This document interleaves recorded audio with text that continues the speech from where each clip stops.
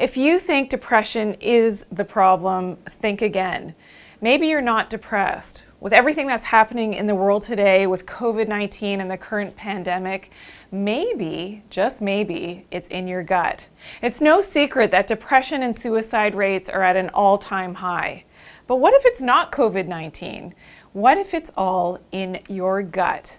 And it's easier to fix than what you think. This is part one of daily habits to prevent depression during stressful times like COVID 19 and our current global climate. These are tips that you can do at home without medication and starting right now. If you're new to my channel, welcome. I'm Dr. Janine Bowring, naturopathic doctor, best-selling author, TV personality, researcher, and mom of five, yes, five so I just want you to imagine that you can actually start feeling so much better starting today, right now, and lift yourself out of your own depression by following the tips that I have in this video. I have 12 tips to share. So this is part one. I'm going to cover six in this first video, and then you'll check out part two of the daily habits to prevent depression in the next video. So tip number one is to get outside. Yes yes, by getting outside and getting your hands dirty. So get out into the earth and connect with the earth and pick up some new microbes that are out there in the environment.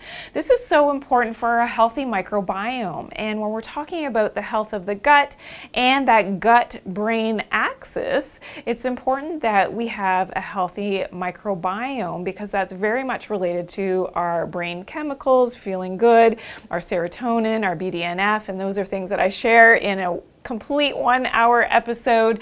And it's episode 23 here on YouTube so make sure that you check it out with the title you are not depressed it's your gut. And it's important to note that you know by having that great diversity in our guts this is reliant on being exposed to different microbes in our environment.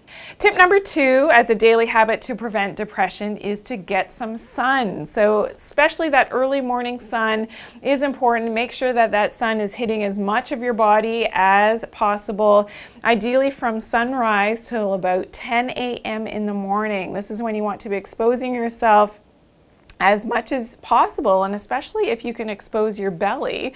This is important for our healthy microbiome as well because our microbiome is reliant on having healthy light as well and it actually gives off light so try to get into that morning sun as much as possible. This is something that I did with my two younger kids today on the way to school. We were at the stop sign. I had them roll down the window in the back seat of the car and I said get your get your especially your pineal gland so your third eye, your fourth forehead. My kids, they know that I tell them to do crazy things all the time, but it's not crazy. It's good for your health. So they did that and they got that sun. And is that enough, mommy? Yes, it is. It's perfect.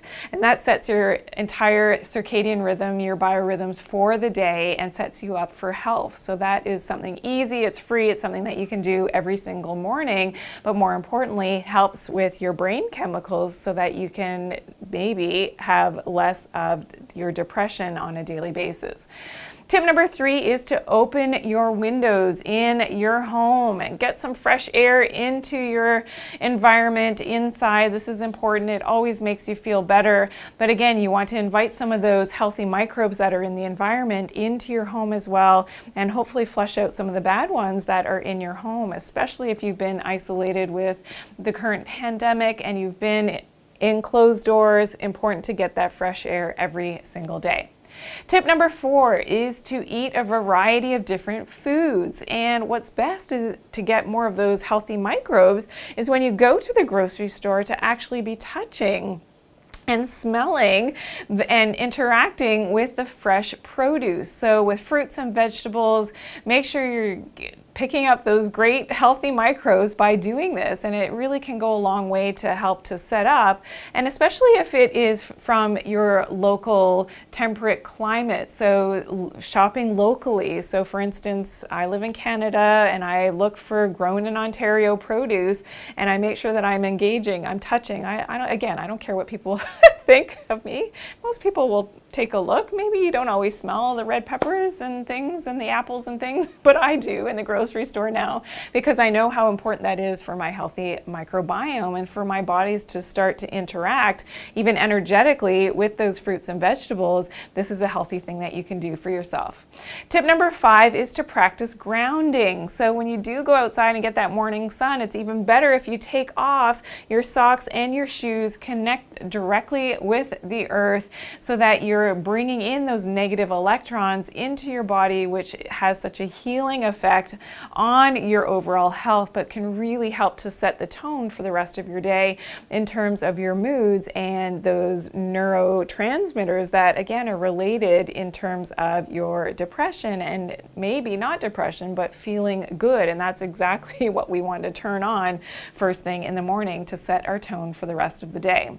And tip number six is binaural beats. So this is something that you can search up on YouTube. It's something that you listen to with headphones on and it's different frequencies of and tones that are going to each of your ears. And what your brain does is it makes up that third tone.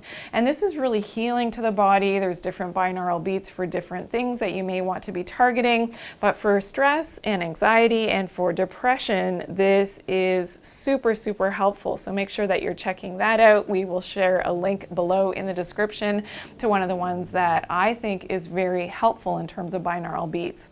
So I hope that you'll be able to use these tips every day. Those were the top six. Now the next six are coming in the next video, so in part two of daily habits to prevent depression during stressful times. So be sure that you find that video, check it out. If this video you think will help some of your loved ones and friends, please share this video. Also give me a big thumbs up if this video helped you to learn something new. I truly appreciate it. And hit that subscribe button. Also click click the bell so that you are always notified of my newest and latest uploads. Remember to always take care of your good health and do it naturally. Thank you for joining me today.